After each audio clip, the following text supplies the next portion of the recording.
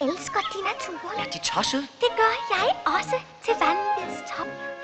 Åh, den fryder mit sind, min sjæl, og forynger fra top til hæl. Kan de bedst lide vinter eller sommer? Hvad måned kommer de helst herop? Kan de lide januar? Synes de juli er rar? Eller februar? Hvad behar? Nej, hellere vælger jeg mig mig, når al naturen pynter sig, kjole skifter. Og alle fugle pifter. Når søerne himmelens blånelse Afspejler med misundelse Så elsker jeg naturen.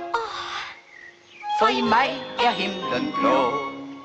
Lige så snart jeg ser de søde gemser For jeg fornemser af alle slags. Min ærgerighed råber rejs dig gå op og pluk edelvejs Åh, nej, nej, jeg vil hellere gå og klappe køerne og høre frøerne, når de siger kvaks. Se den yndige sø, mærke duften af hø og forelske mig bøg om bøg. Just derfor vælger jeg mig mig, så kan man bedst forelske sig. Man iler bort fra vrimlen Og lige lugt mod himlen man danser mod det himmelblå. Man kan slet ikke stille stå. Kort sagt, man er på rette vej Når man sværmer lidt i vej.